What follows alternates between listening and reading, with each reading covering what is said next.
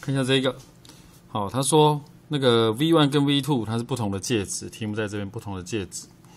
那请问，如果说它从一个介质到另外一个介质，有可能会出现哪一种方式？我们看哈，如果说它过来的时候，好，记得这是波前，波前和波前进方向互相垂直，这是波前进方向。设法设法把线画出来。正常来说，直直走，大脚快来，小脚慢，所以这个角度比较小，代表它到比较慢的介质。到比较慢的介质，V 得 F 烂的。好，不同的介质频率是一样的，那速度变慢，波长就变短。所以你看，波长本来这么长，后来变成这么短。好，所以这是到慢的介质。那如果说到快的介质嘞？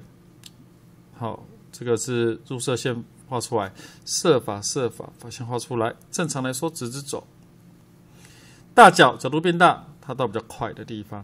那如果说到比较快的话，波长就会变长。所以你发现，哎，波长变长了。所以比较有机会的是谁？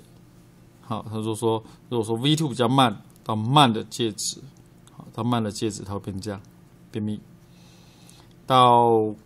V two 比较快，快的介质慢到快，它会变得比较距离会变比较大。